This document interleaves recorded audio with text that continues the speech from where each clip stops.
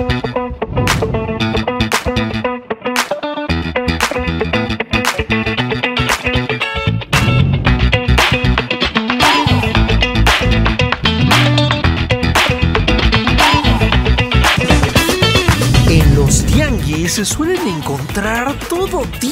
de dispositivos, desde computadoras gamer de última generación hasta consolas de videojuego retro de hace 50 años. Pero el día de hoy venimos por algo fuera de lo normal. Venimos a comprar todos los dispositivos de almacenamiento que se nos topen en el camino. Sí, me oíste bien. Ya sea de esos grandes y toscos que son para las computadoras de escritorio, hasta los discos convencionales que son para nuestras laptops y consolas de videojuegos. Y si bien nos va, también de las unidades de estado sólido M.2. Sé que incluso suena complicado, pero creo que vale la pena soñar. De igual manera, les daré unos cuantos consejos para comprar estos aparatos y reducir el riesgo de que no terminen jalando. Así que si quieren ver qué nos espera el día de hoy en el tianguis, pónganse cómodos que enseguida comenzamos.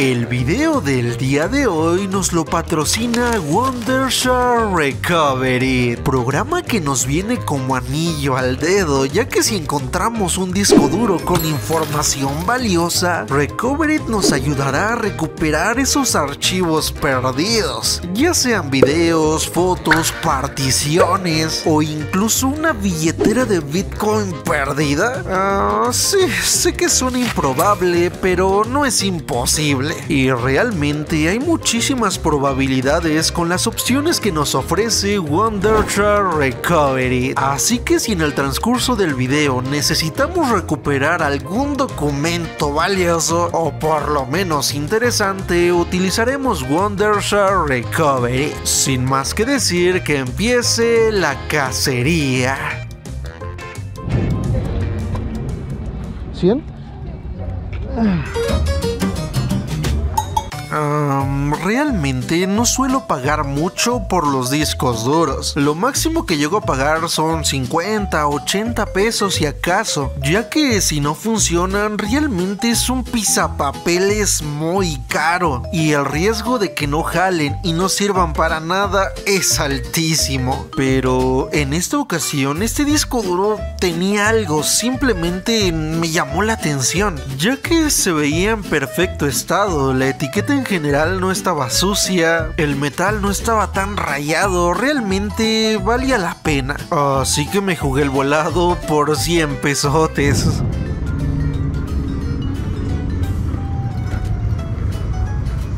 ¿Estos en cuánto los traes? Los discos. Los discos duros. 50. Este sí es un precio adecuado para los discos duros, ya que si compras un disco de un tera, dos teras, incluso hasta cuatro teras, realmente vale un poco más la pena arriesgarse, ya que si compras unos 5 o 6 de 50 pesos y por lo menos te llega a jalar uno o dos, créeme que recuperas tu inversión e incluso te sale un poquillo mejor. Me envió estos cuatro. ¿Cuatro? Sí. ¿Cuánto traes este jueguillo? Sigue siendo fecha en que no me acostumbro a ver estos juegos destrozados. Realmente me duele en el alma verlos en estas condiciones. Y aunque digan que lo pagué caro en 100 pesos, no sé, realmente no me puedo resistir a intentar restaurarlos. ¿Se imaginan que le pueda rescatar la etiqueta? Ah, no lo sé. No me gusta quedarme con la curiosidad y lo terminé comprando. Pero, ¿por qué les muestro esto? En este mismo puesto tenían un disco duro muy interesante, con el cual les quería dar un consejazo. Si ven estos discos duros así en un empaque que no les pertenece, no es porque en el tianguis te quieran estafar o porque te quieran ver la cara o algo parecido, sino porque mucha gente, y me incluyo en esa lista, cuando actualizamos nuestro disco duro por un SSD, comúnmente reemplazamos el disco duro y lo ponemos en la misma caja en donde venía el SSD. Y en experiencia propia, y créanme, lo he experimentado, casi un 80% de los discos duros que he comprado yo en estas condiciones han funcionado. Así que si ven un disco duro así, no creas que te quieran ver la cara, sino que posiblemente el dueño lo tiró de esta manera. Y si el disco duro es de una capacidad alta, creo que es una inversión casi segura.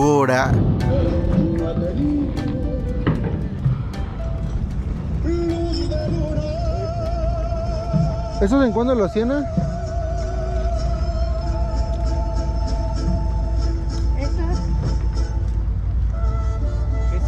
Los discos. Me llevo estos. Tres.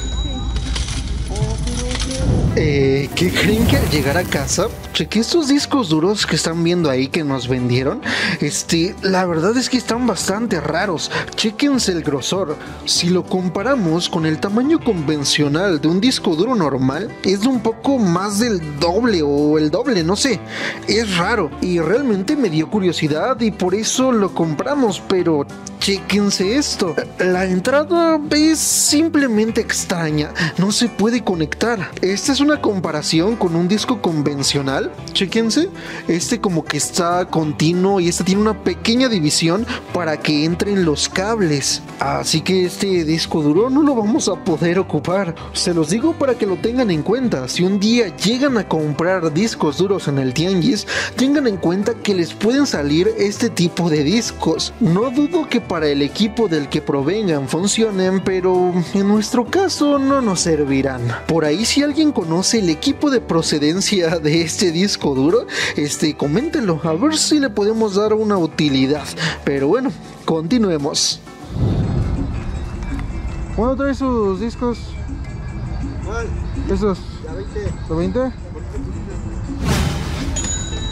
Aquí les va un consejo que les va a servir de mucho. Si ven algún lugar así con un montonal de discos duros, no los compren, ya que si se fijan, los discos están como en montaña y si lo analizan un poco, los tiraron así directamente de un costal. Y si así los tiraron en pleno tianguis, imagínense cuántos golpes no se dieron, cuántas veces no los azotaron y los discos duros, lamentablemente, es algo muy sensible. Que cuando veo puestos así no busco discos duros. Realmente me paso a buscar SSDs porque me ha pasado que los encuentro ahí revueltos. Y la verdad es que por el precio que lo suelen dar, un SSD está muy bien. Pero comprar un HDD aquí es un riesgo altísimo. No dudo que alguno funcione de aquí, pero de aquí a que encuentras el bueno ya te gastaste un montón de dinero.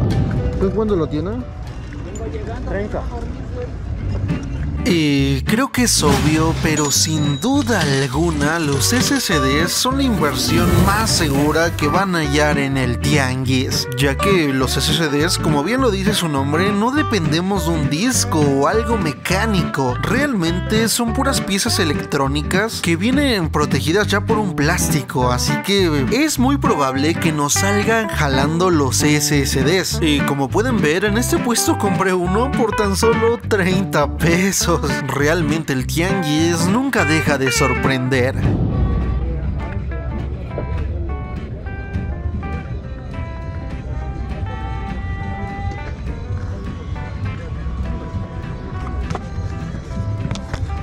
¿Eso cuándo lo tienes?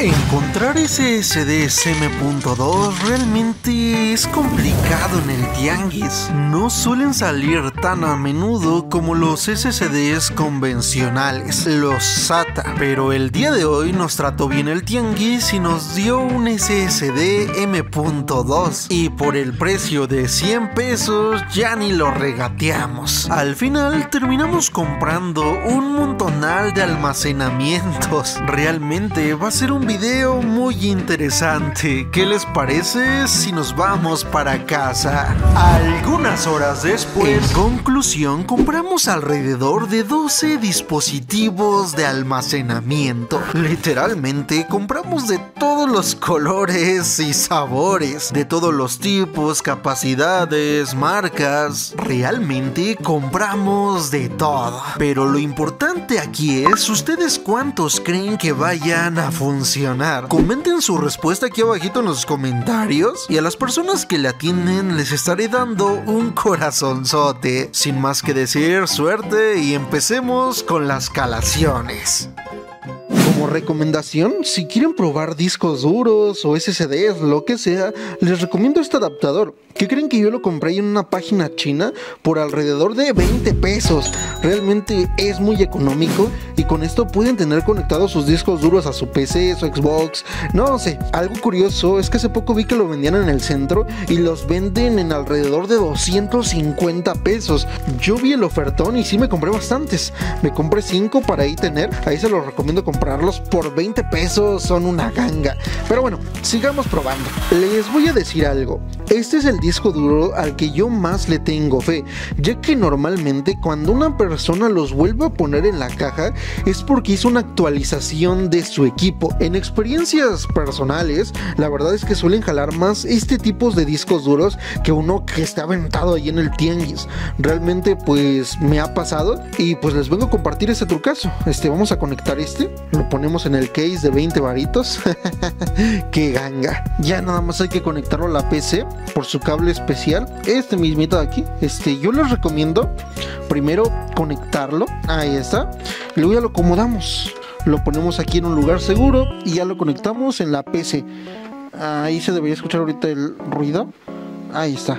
Listo. Y de hecho, mens, este nos está detectando. Este nos detectó un sistema operativo tiene al parecer Windows. Este, o sea que está jalando bien el disco duro. Aquí si checamos en las características del disco nos dice que está en buen estado, el de 250 gigabytes. O sea que sí se comprueba un poco la teoría de la que les hablaba, de que cuando vienen en este tipo de empaques es más que nada por actualización. Así que si van a comprar discos duros en el tianguis, ya saben, yo les recomiendo comprarlos así. Así que acabo de abrir el programa que está especializado para todo este tipo de cosas, Wondershare Recovery. Aparte de pues eh, enseñarnos una interfaz mucho mejor especializada, en el caso de esta PC que tiene Windows, por ejemplo, podríamos nosotros reparar el Windows. Ya sabes, a veces te suele mm, salir la pantalla es azul como la pantalla de la muerte, te suelen salir muchos errores. Entonces con este programa nosotros podemos reparar el inicio, podemos reparar la pantalla azul de la muerte o incluso crear un USB de arranque. Vamos a abrir el disco duro y básicamente el programa está haciendo un análisis profundo de todos los datos que tiene esta computadora. Y aparte pues nos los divide por el tipo de archivos. Realmente si nosotros perdiéramos los datos de nuestro disco duro, con este software podríamos recuperarlos todos. Como podrán notar, la cámara grabó esta escena toda desenfocada. Pero en resumen, al recovery te encontramos archivos de juegos de Xbox 360. Así que posiblemente el dueño o la dueña haya sido gamer. Y fuera de ahí solo encontramos algunos datos personales, pero nada fuera de lo normal. Ya solo me queda formatearlo y proteger los datos personales. Banda, si se llegan a encontrar estas cosas, hagan paro y bórrenlo. Miren, si alguien conoce a la chica esta con con el tatuaje aquí, díganle que tenemos el disco duro. bueno, el primer disco duro que probamos y salimos ganando.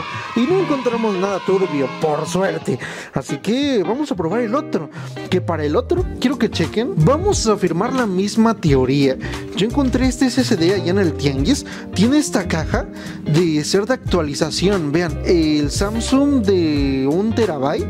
Este, pues es bastante bueno el SSD. Pero hubiera sido mejor que hubiera tenido ese SSD dentro, ¿no? Tiene básicamente el equipo por el que lo sustituyeron, pero es de 128. Este, vamos a probarlo. Para este, si tengo otro tipo de adaptador. Creo que ya se los había mostrado alguna vez. Este nada más lo ponemos aquí y lo metemos. Ahí está y este ya simplemente se conecta por tipo C y nos va a detectar nuestro CM2. Realmente es muy útil. Así que vamos a conectarlo a ver qué nos dice. Ok, está conectado y ya se escuchó. Uy, ya nos abrió de hecho algo, ¿eh? este igual tiene Windows, tiene programas aquí. Incluso pues nosotros aquí en usuarios dice AIME. Dice AIME, ojalá no sea la P3. Me quiere encontrar nada turbio aquí. Nosotros calando discos duros. Y miren esta hija de su pinche madre. Ahí bien chingón arriba de ellos. Micha. Micha. ¿Qué te traes cara de verga? Ponte a trabajar, cara de verga. Nomás estás viendo TikTok. En el caso de este M2 parecía que estaba funcionando, realmente estaba raro, como que a los dueños anteriores se les corrompió el Windows y ya no le hicieron nada, así que posiblemente ellos perdieron datos importantes, posiblemente por no saber que existen programas como Recovery y posiblemente no sabían que se puede hacer lo que estamos a punto de hacer. Eh, ya estuvimos analizando por algo de tiempo este, realmente han pasado alrededor de 8 minutos, pónganle, y ya nos analizó el 40%. Y como les digo, a pesar de que nosotros formateemos o perdamos nuestros documentos, nosotros podemos aquí observar qué, archivos tenemos. Chequense, aquí en MP4 vamos a ver los documentos, bueno, los videos que nos que nos que nos recuperó. Ah, sí, son cosas descargadas son renders, no, nada, nada interesante. Vamos a ver qué nos recuperó de fotos. Mm, aquí ya sí son fotos más normalillas, un graffiti por aquí. Uy, de hecho me acabo de encontrar un juegazo, el 7 Days Today. Este es un juegazo. Yo creo que lo tenía descargado. Así que a lo mejor creo que era gamer, ¿eh? Que gamer la personilla que tenía esto. Eh, pues sí, toda la galería de Adobe ya que pues ahí nos salían todas las cosas de Adobe y pues sí, tenía al parecer la galería de Adobe. Battlefield, ah, es un... Bueno, pues era gamer, tenía muchísimos juegos, aunque se me hace ilógico porque el disco SSD que tenía, no sé, era de muy poca capacidad. Y encontramos al parecer este de microscopio, si son como cosas del microscopio, ¿no? Un pelo, quién sabe. Este, pues realmente en este SSD pues no hay muchas cosas. Este, pues pues que pues qué bueno, ¿no? Este resultó no ser de MP3, pero pues al menos es una buena noticia. ¿Qué les parece si seguimos viendo los demás? Aquí tenemos otro SSD que funcionó. Este es uno de los discos duros que más me da curiosidad. Es uno de 2 terabytes. Realmente si este funciona, con esto se podría recuperar toda la inversión. Costó como 50 pesos. Vamos a probarlo a ver qué rollo. Eh, ya estoy conectando y se escuchó que Ok, creo que está girando. Está girando, ¿eh? Ahí está. Ya lo detectó. Ya lo detectó. Es un disco de 2 terabytes, ¿eh? 2 teritas, 2 teras. Tiene archivos de programa. River Buster. Ok, esta igual es una computadora, pero al parecer incompleta, ya que no tiene pues todo lo que tiene la computadora, solo tiene pocas particiones, chéquense. Yo creo que está un poco dañado, le trataron de borrar todo. Era de Adrián al parecer. Vamos a ver en propiedades del disco qué estado tiene. Si suena el sonidito quiere decir que está mal. Ahí está, uy, está bueno el disco, eh. Está bueno, todo, todo nos lo señala bueno, así que pues aquí ya recuperamos mucha de nuestra inversión. Está en buen estado un disco de 2 teras. La neta, ahí ya vamos de ganancia. Vamos a abrir el software Recovery de Filmora, a ver qué rollo. Y vamos a analizar un poco. Es que el disco está formateado. Como les digo, creo que casi toda la gente antes de tirarlo los formatea. Y pues está bien, la verdad está chido. Pero creo que deberían hacer un formateo más a fondo. Porque, por ejemplo, nosotros ahorita podemos recuperar casi todos los archivos. Así que vamos a dejarlo unos minutitos ahí que analice un poco el disco duro a ver qué encontramos. Este disco en general pues estuvo bastante normalón. Eh, está jalando al 100%, pero pues no tiene nada turbio. Simplemente algunas cosas personales, fotos y ya, pero pues nada fuera de lo normal. Pero bueno, ¿Qué les parece si seguimos con otro? Para no hacerles el cuento largo, voy a darles un resumen de la calación de los discos duros. Y es que varios de estos, aunque aparentaban dar señales de vida, la PC no los detectaba, por lo que significaba que se encontraban en un estado deplorable. De los discos duros de laptop, 3 de 5 no funcionaron para nada. Y los dos que estaban funcionando venían completamente formateados. En cuanto a los discos duros grandes, la verdad es que eran a los que más les tenía fe, pero vaya que me equivocaba, ya que cuatro de los cinco discos duros estaban totalmente muertos. Aunque de los discos duros grandes fue uno de los mejores que encontramos, ya que era un disco duro de un terabyte que venía completamente nuevo. Por eso no traía archivos, solo había sido encendido unas 60 veces. Realmente el tianguis es muy impredecible. Te pueden salir cosas de estas y luego discos duros que no sirven. Pero bueno, así es esto. Eh, bueno, ya hemos calado todos los discos duros. Este, afortunadamente o desafortunadamente, no salió algo turbio. Realmente, pues discos comunes como los que se van a encontrar. No dudo que ya en el tianguis haya alguno con alguna cosa turbia. O se imaginan que alguno de ellos tenga una cartera de bitcoins o algo así.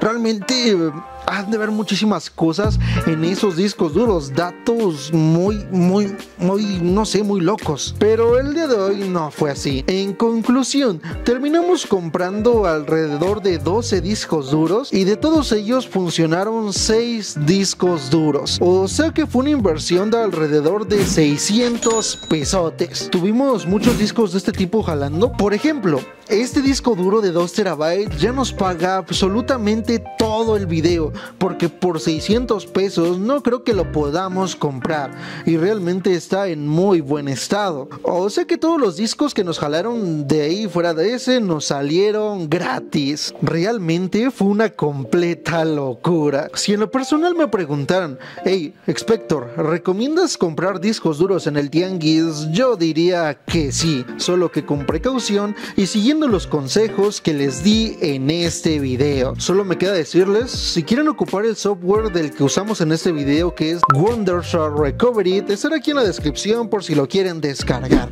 La verdad es que es muy buen programa. Yo lo tengo comprado porque en algún momento que llegué de viaje se me perdieron un montonal de archivos y los recuperé con este programa. Así que pues créanme, realmente hace un parote. Se los dejo aquí en la descripción y bueno, nos vemos hasta la próxima. Adiós. Soy el fucking good de esto que llaman planeta, donde ser diferente parece negligencia. Logran tener paz, pero la tienen con guerras. No hay misericordias y blasfemias no existencia. Hipócritas, no lo creen así humanos. El futuro es de ustedes, no lo dejen en mis manos. ¿O acaso es que ya lo olvidaron? Deja a Jesús en las suyas y lo llenaron de clavos.